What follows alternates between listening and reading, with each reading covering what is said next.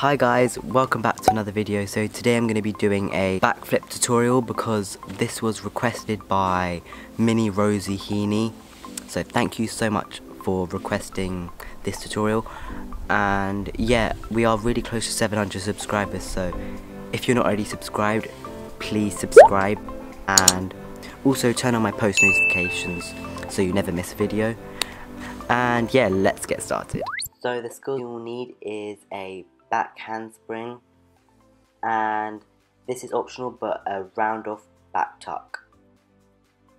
So on the trampoline stop by doing some back drops and then flip over so you kind of have the motion of going backwards. So just keep doing this. And you want to try and do some high back handsprings and then each time try and lift your hands up. So now try and doing this on the map of some high back handsprings um, and then just keep trying to lift yourself up until you finally do a back layout and then try and tuck. And use a mat I'll link this mat in the description.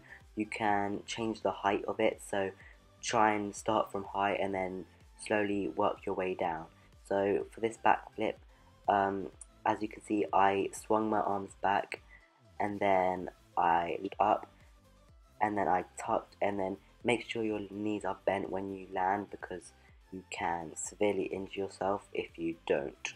Thank you so much for watching. I hope I helped you kind of learn or gave you some tips on how to do a backflip. If you want any more sort of tutorials on how to do something such as the back handspring, just comment it in the comments.